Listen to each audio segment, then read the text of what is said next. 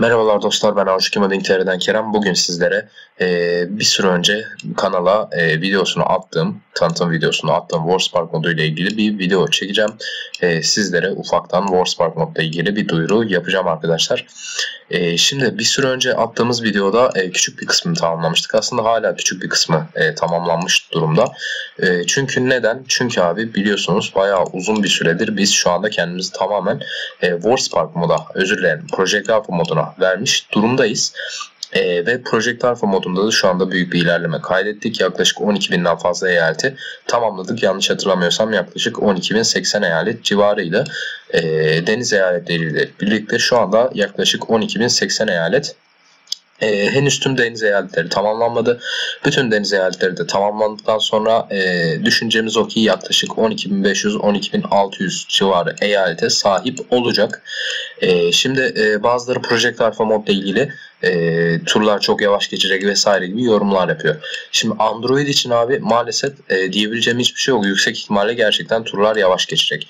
Ama bilgisayarda birkaç hafta önce e, kanala videosunu attığım hızlandırma videosundaki yöntemle Project Alpha modunda hızlı tur geçişini bir nebze olsun sağlayabilirsiniz abi. Biraz arttırabilirsiniz. Daha doğrusu e, tur geçme süresini azaltabilirsiniz abi. Eğer çok fazla eğer çok e, fazla ise e, bu yöntemle bir nebze olsun azaltabilirsiniz tur geçme süresini.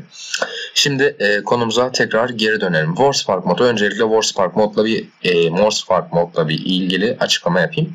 E, Warspark mod e, sistemi Age of Civilizations 2'nin kendi haritasına yani şurada gördüğünüz 4269 eyaleti Lukas Çakovski'nin kendi yaptığı haritasına e, çok yetmeyenler, kasanlar, turları yavaş geçenler vesaire ya da abi özellikle de Androidçiler için yapılmış bir mod.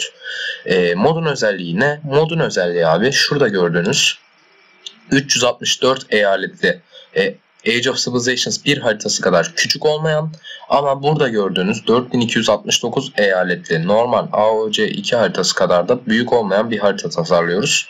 Ee, ve şu anda da gördüğünüz gibi şu gördüğünüz alanda 127 eyalet tamamlandı. Ee, bütün harita tamamlandığında öyle düşünüyoruz ki yaklaşık 700-600 civarı eyalet olacak. Ee, tabii ki bu da e, şu 364 eyaletli haritada e, hevesini alamayan arkadaşlar için gayet yeterli bir rakam olacaktır diye düşünüyorum. E, şimdi şöyle bir e, yeni oyun diyelim. Gördüğünüz gibi e, şu Türkiye, Irak, İran, Suriye vesaire Afrika'nın yarısı kadar bir bölümü şu anda abi tamamlandı. Şu e, Sudan, Güney Sudan sınırı çok doğru olmadı. Çünkü e, yaptığım haritanın arka planında hemen şöyle göstereyim. Şöyle e, şuradan eyalet harfayı bir sıfıra çekelim. Öylece daha rahat görürsünüz. Heh. Yaptığım e, harita harita yaptığım arka planda e, Sudan ve Güney Sudan'ın sınırlarını ayırmamışlar abi. Ben de dalgınlık yüzünden Sudan'la Güney Sudan'ı aynı ülke olarak yapmışım. Dolayısıyla sınırlar pek doğru olmadı. Ama abi bunu düzeltebilirim tabii ki de. Map Editor'da böyle bir özellik de mevcut. Yani ben şu eyaleti sileceğim. Bunun yerine iki eyalet yapıp sınırları daha düzgün e, e, hale getireceğim. Merak etmeyin bu düzelecek. Ee, onun haricinde abi ne duyuracağım? Şimdi Discord grubumuzda olanlar zaten yüksek ihtimalle biliyordur. Ama Discord grubunda olmayanlar için ben buradan da duyurmak istedim. Ee, harita e, 250 eyalete ulaştığında biz e, bu modun beta versiyon 1'ini çıkaracağız abi. Beta versiyon 1'de yani 250 eyalet bulunacak. E, 500 eyalette beta versiyon 2'yi çıkaracağız ve 600'den fazla eyalete ulaştığımızda da full sürümü çıkaracağız. Zaten e, yaklaşık 600-700 eyalette bir harita olacağı için 600 eyaleti geçtikten sonra full sürümü çıkaracağız abi. E, Wars, Warspark ile ilgili yapmak istediğim duyuru buydu.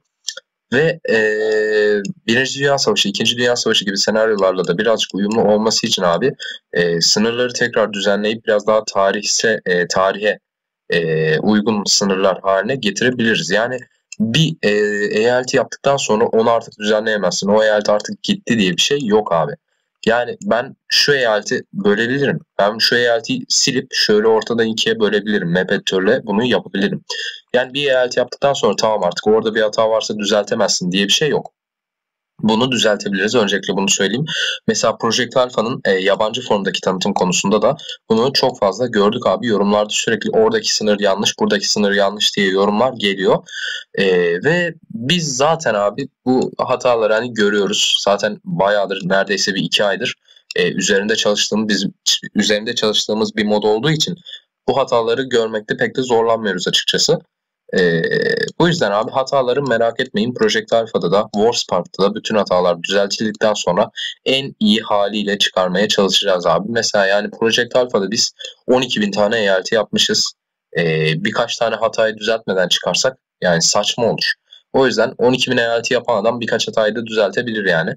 O yüzden merak etmeyin bütün hatalar düzeltilmiş bir şekilde çıkarmaya çalışacağız. E, hem Warspark'ı hem de Project Alpha arkadaşlar. Açıklamadan Warspark'ın e, yabancı formdaki tanıtım konusuna ulaşabilir. Aynı şekilde Bino Game'den bizlere bağışta bulunabilir ve Discord grubumuza katılıp bütün yeniliklerden, modlardan, modlardaki gelişmelerden, videolardan haberdar olabilirsiniz abi. Şimdilik benden bu kadar. Hepinize iyi günler, iyi oyunlar.